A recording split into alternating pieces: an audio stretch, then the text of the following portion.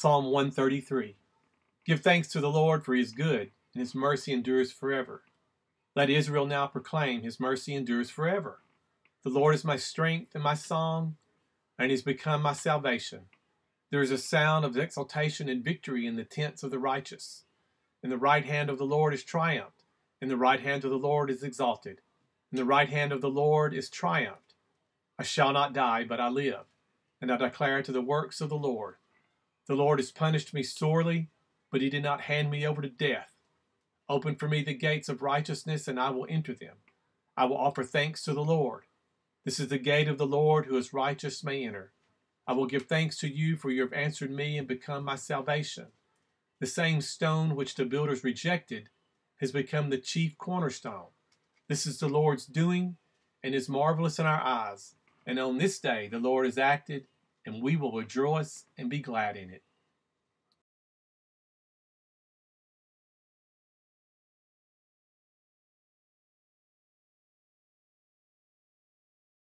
You know us so very well, Christ Jesus. You know our doubts and our questions, and you love us even enough to welcome such doubts and questions. You know our fractures and our divisions, and you love us enough to invite us to forgive one another and live in unity.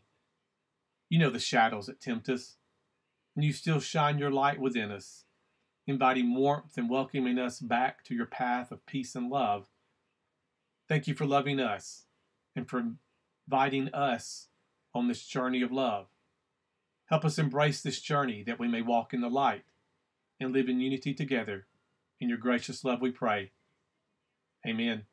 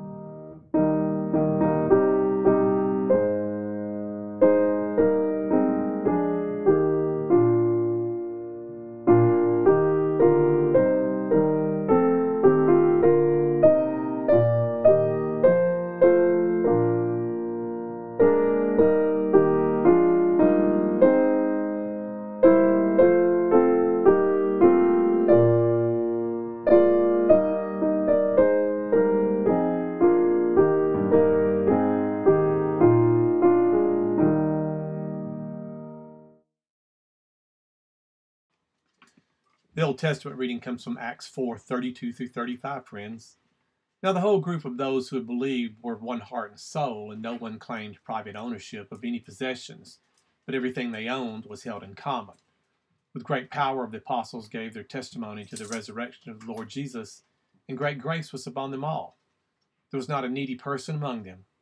For as many as owned lands or houses and sold them, and brought the proceeds of what was sold, they laid it all to the apostles' feet and it was distributed to each as many as they need. Friends, the gospel comes from John 20, 19 through 31. And it was evening on that day, the first day of the week, and the doors of the house of the disciples had met were locked for the fear of the Jews. Jesus came and stood among them and said, Peace be with you. And after he said this, he showed them his hands and his side. Then the disciples rejoiced when they saw the Lord. And Jesus said to them again, Peace be with you. As the Father has sent me, so I send you.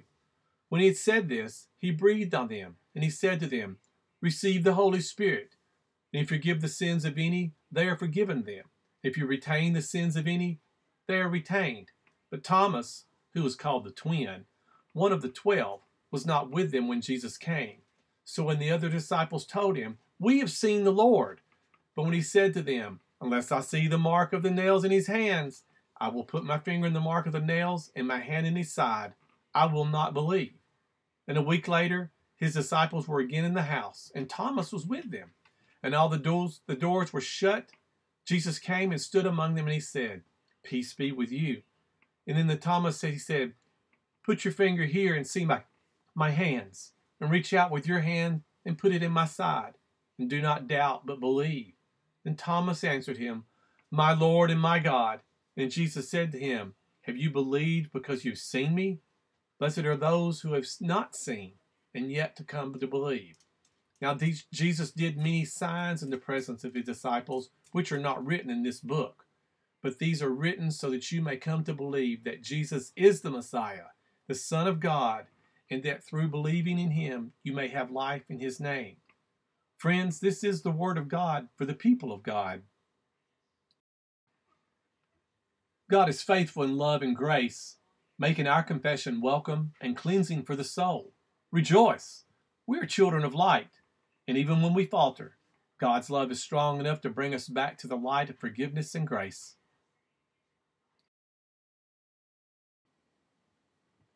Good morning. I'd like you to hang on to this thought as we move through our message this morning together that the cleansing of the temple demonstrates that God can bring good from bad. Now, God is able to bring good out of bad. And, friends, that really should cheer us up because we all do bad things in our life. We suffer bad experiences. But God has the power to redeem the bad and cleanse us. And we see in our gospel lesson today that something bad had happened. And Caiaphas, the high priest, had quarreled with the Sanhedrin, the ruling body of Israel. And Caiaphas rewarded his supporters in that conflict by allowing them to establish concession stands inside the temple. They were able to sell cattle and sheep and birds, and they exchanged all this for money. And everyone else had to set up booths across the way in the Kedron Valley. But those that had backed Caiaphas got prime real estate inside the temple walls. And the selling of animals and the changing of coins was necessary because people came from all over the place at Passover to make their sacrifices in the temple and to pay their temple tax. And the scriptures provide that only the best animals and those without blemish were accepted as sacrifices. So, how could anyone bring top quality animal without a blemish, perfectly groomed, from Galilee or Rome or Egypt? Well, they couldn't.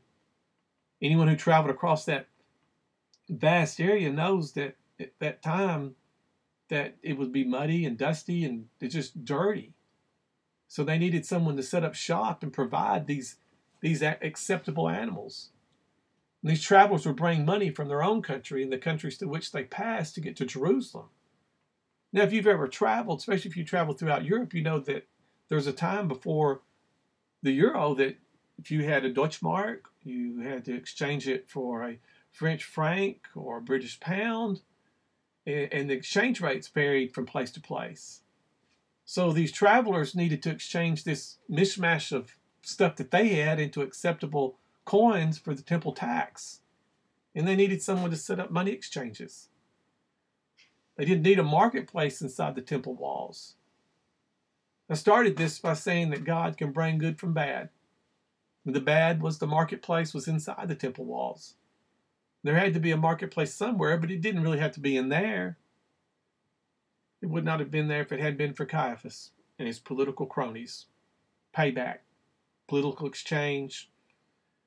We've witnessed the same thing in our very government today with the pork that's rolled into bills that are passed. And God was not well served by the crowding and the noise and the smell of the animals and inside the temple precinct. So Jesus came to the temple and he took out and he drove the cattle and the sheep out of the temple and he went through the area turning the tables over and he scattered the coins all over the place. And he yelled, Don't make my father's house a marketplace. Now, nobody knew this yet, but Jesus was the beloved son of his beloved father. He was not about to tolerate people setting up shop in his father's house, boarding animals of their father's property. And you could imagine the smell and, the, the, the, the animals using the bathroom and the floor. Don't make my father's house a marketplace. It was disruptive. And I've always pictured Jesus herding four or five cattle and three or four sheep from the temple. But the scene must have been quite different because over a hundred thousand pilgrims had came to Jerusalem for the Passover. And they came to offer their sacrifices at the temple. At any given time, there would have been thousands of people inside these temple walls. There would have been a dozen or hundreds of vendors all hawking their prized cattle or sheep or birds for the coins.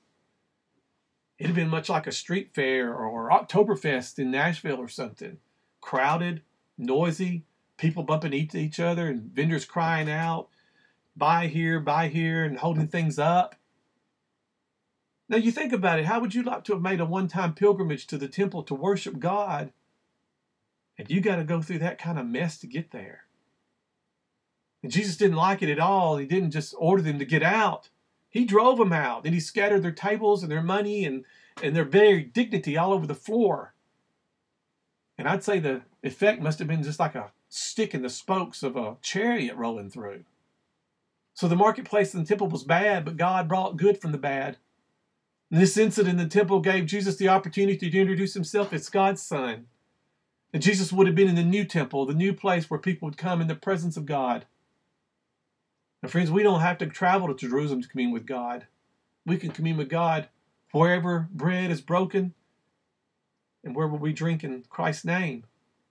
And our pilgrimage into God's presence needs not be a once in a lifetime affair because we can enter into God's presence whenever we like because Jesus makes God accessible to us all the time, 24 hours a day. Friends, that's the good news. And it's the good news because we all have times when we're completely isolated and when we wonder where God is and when the pain seems to be too great to bear. And the promise is that God is with us even in the valley of the shadow of death. And the promise is God redeems us. The promise is that God brings good even in the worst of situations. Y'all recall Terry Anderson? And he was captured by and made hostage by militants in Lebanon a long time ago. And they made him suffer for seven long years, and much of the time he spent in darkness and chains. And I remember sitting at the dinner table praying with my family about it. And he didn't know whether he would ever be free again. And he didn't know he'd ever be alive sometimes the next day or the next minute. But you know, God brought good from the bad. Before Anderson was captured, he wasn't a very nice man. He was imprisoned. It changed him, though. God was at work in his life and through his pain. And after he was freed, he reflected on his imprisonment and he said, almost chuckled sometimes, this punishment, if it really was, seemed perfectly designed for my sins and weakness because I drank too much and there was no alcohol there. And I chased women, but there was no women there. And I was arrogant. And what better than to put me in the hands of these so arrogant and uncaring young men? I've been careless with others' feelings, and these people didn't, they didn't give a tiny thought about me. I was agnostic most of my life, but my comfort here was my Bible, my prayers. Friends, let me drive that home because he said I've been agnostic most of my life, and my only comfort was my Bible and my prayers. And it was in that terrible situation because of that horrible situation that God was able to break through the hardness of Terry's heart and in the depth of his despair. And he prayed, Help me, God. then there's no really reason why he should. But don't we always turn to you when we're in trouble? And we turn away from you when things are good. Now I'm doing it the same thing here, but you love me, so help me. And friends, God did help him. I don't know what kind of help Anderson had in his mind. Maybe he just wanted God to free him and, and get him out of that hell. But in a sense, that was what God did. God became very present for Terry Anderson in that dark cell. And God used that hellish situation to free Anderson from the sins and the compulsions that had enslaved him the majority of his life. And eventually, God also freed Anderson from his imprisonment. And when he did, Anderson was a different person and he was a new man. He was redeemed. He was made whole and pure. And whether you're doing bad things or suffering through a bad experience, God will be there with you if you'll let Him. God will help if you will allow it. If you're doing something, ask for God's help. And when you do, be aware that asking God to redeem you from your sin is like asking a surgeon to save you from your cancer. God's cures are not always gentle, they can save your life. If you ask God to help you become a new person, don't be surprised if your cure involves pain. God, He loves to reprove us, and even Father, He reproves the Son, whom He delights. So don't expect God's remedy to be painless, but do expect that God will help and expect that God will redeem you. And when you're suffering through a bad experience, ask God for help. Ask the help that He might or might not be gentle, but the Lord will restore your soul. And this story of the cleansing of the temple is the first and the foremost the assurance that Jesus is the temple, the place where we go to meet God, the one who brings us into God's presence, the one who restores our soul. It's the assurance that Jesus makes it possible to come into God's presence anytime we want. Friends, there's no place on earth or under the earth above the earth or out in the space where we're now traveling that God is not here with us. In the story, the cleansing of the temple is also the promise that Jesus provides what we need. He created us, He loves us, and He will redeem us. In the story, the assurance that nothing we have ever done is so bad that we're not beyond redemption, friends. So this morning, come to Jesus. Come and receive His blessing. Friends, I've brought you this message in the name of the Father, the Son, and the Holy Spirit. Amen. My friends, the disciples had gone into hiding in a locked room for fear of the Jews. They had good reason to be afraid. The Jewish leaders had persuaded Pilate to kill Jesus, and Jesus' disciples feared they're going to be next. And leaderless and despairing, the world had come crashing down around them on Friday with Jesus' death. Man, they believed him. They left home and hearth to follow him, and they'd staked their very lives on him. And man, he's dead now. And their lives are in shambles. And now on Sunday, they had heard reports that Jesus was alive. And Mary claimed to have seen him, to have talked to him. But you know how that goes. You can't believe everything you see, and much less anything that you hear. And the disciples knew that Jesus had died, but they found it difficult to believe that he was alive. But, time's going to tell. Discretion was the better part of valor. Better keep a low profile than to get caught in a dragnet. So the disciples were hiding in a locked room. but Jesus came into the room, and his first word to them was peace. He said, Peace be to you. And the disciples needed to hear that. They hadn't had a moment's peace since Jesus was arrested, and seeing him in the flesh and hearing his peace must have really calmed them down. And then Jesus came into their marching orders. And he said to them, As the Father has sent me, even so I send you. And Jesus had work for them to do. And he gave them the power that they would need to carry out their mission, receive the Holy Spirit. And by themselves, the uh, disciples would be powerless. But they wouldn't be by themselves because God would be with them. But there was someone who was not with them Thomas one of the disciples. We know him as Doubting Thomas. Thomas wasn't with the disciples on Easter evening, so the disciples told him about Jesus, and when they did, he responded as much as I'd say me and you would. yeah, right. Yeah, sure you did. And after then, Thomas went into the step. And he told them he did not believe him, And he also told them he would require. Unless I see his hands, I ain't to believe it. Unless I see the holes in his side, no way. Show me. I need to stick my fingers in the holes. Now, people don't talk that way unless they're angry, and I'd say Thomas had a reason to be angry because he'd been blindsided just like the rest of them. Man, he'd staked everything on Jesus, and he'd seen his hopes die, and the words let down probably don't even begin to describe how Thomas wiped out, probably more like it. But a week later, Thomas was with the disciples when Jesus returned. And I wonder what was going on in that room. The rest of the disciples must have been upbeat and buoyant, and Thomas must have been sulking in the corner like an anchor dragging against the boat. The other disciples felt one way, and Thomas, well, you know, he felt the other because he hadn't seen Jesus. And Jesus came to him again and he said, Peace be to you. And he went directly to Thomas, you know, doubting, angry Thomas. The show me the holes, Thomas and listen to what Jesus did not say to Thomas. Jesus did not say, Shame on you, Thomas.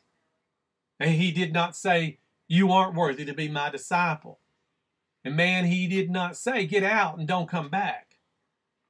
Instead, Jesus said, Reach here with your finger and see my hands. Reach here with your hand and put it into my side. And don't be unbelieving, Thomas, but be believing. And Thomas had told the disciples what he needed to be able to believe, and Jesus gave it to him. Jesus met the conditions that Thomas had set because he helped Thomas to believe. But then he said to him, Because you've seen me, you believed. But blessed are those who have not seen and not believed. Man, I call this Jesus' last beatitude. Blessed are those who have not seen and not believed. It is Jesus' last because it comes at the end of his earthly ministry. I call it that because it's much in common with the ones the in the Sermon on the Mount. You remember, blessed are those poor in spirit, blessed are those who mourn, blessed are those who are gentle. Each of us, excuse me, each of them starts with the word blessed. And each Beatitude turns to the world on its head. And we want to be rich, but Jesus blesses the poor. We want to be powerful, but Jesus blesses the meek and the gentle. And through it all, Jesus introduces a new world, the kingdom of God, a place where we live by God's rules. Then the kingdom is where Jesus calls us to be a new beginning. Right now, he calls us to become citizens of the new kingdom where we let God be our king. Friends, in our gospel lessons today, Jesus tells Thomas that he believed because he saw. Then he said, Blessed. Blessed are those who have not seen but believed. We need to hear those words gladly, friends, because they apply to me and you because we have not seen the risen Christ, Christ in the flesh. But we believe. And Jesus tells us that we're to be people of the special blessing. And God honors our belief. And God knows that it's easy to believe what we see and hard to believe what we cannot. So God gives us a special blessing for believing what we don't see and for being willing to see which is visible only through the eyes of faith. You know, Augustine put it this way Understanding is the reward of faith. Therefore, seek not to understand that you might believe, but believe that you may understand. Friends, life is hard. And it tempts us to hide up in a locked room, to stay in bed with the covers over our head, and run away from the challenge to say, Man, you know, preacher, I'll believe it when I see it. But Jesus challenges us to take this message of love into a world that desperately needs it, even if it will not welcome it, friends. Jesus challenges us to light, at least on a small candle scale, believing that darkness cannot overcome light, but that even the small light will overcome darkness. Jesus empowers us with God's Spirit so that the impossible becomes possible and the dream becomes reality. And Jesus blesses us with a walk in faith. Blessed are those who have not seen and believed. Friends, this is a blessing for us when life goes sour. It's a blessing for us when the times when everything seemed hopeless. Man, it's a blessing for us on those days that there seems to just be a way out. It's Jesus' last beatitude, his last blessing, and his last promise. Blessed are those who have not seen but believed. Friends, believe it and receive Christ's blessing. I bring you this message in the name of the Father, and the Son, and the Holy Spirit. Amen.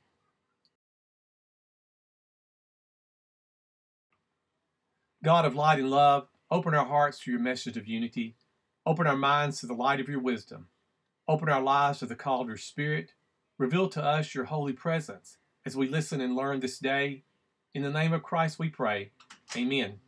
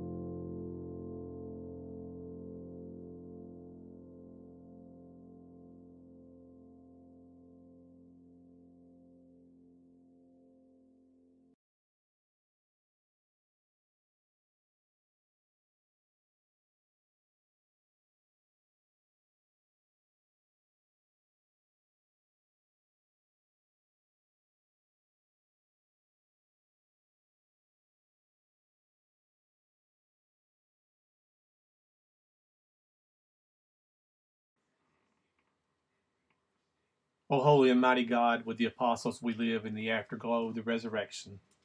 And like them, we too have fears and doubts. We want to believe with all of our hearts the story we've heard. But so often daily life gets in the way of our faith. Father, help us. By the Holy Spirit, enable us to walk through each day's obstacles so that we may see them not as causes for doubt, but as barriers to be lifted by faith. O God of the risen Jesus, hear our prayer. God of our journey, we praise and thank you for gathering us to worship, discuss and decide and act together. Give vision beyond our usual sight and give faith that is strong. O God of the risen Jesus, hear our prayer. And now, as we pray together the prayer that He taught us so long ago Our Father, who art in heaven, hallowed be thy name. Thy kingdom come, thy will be done, on earth as it is in heaven. Give us this day our daily bread, and forgive us our trespasses, as we forgive those who trespass against us. And lead us not into temptation, but deliver us from evil. For thine is the kingdom, and the power, and the glory forever. Amen.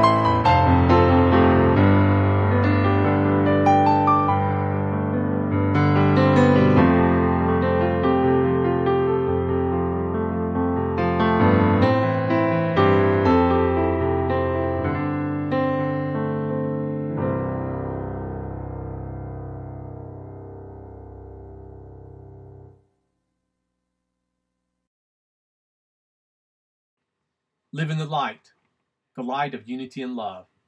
Live in the light, the light of faith and hope. Live in the light, the light of God for all the world to know. And the church joined together and said, Amen.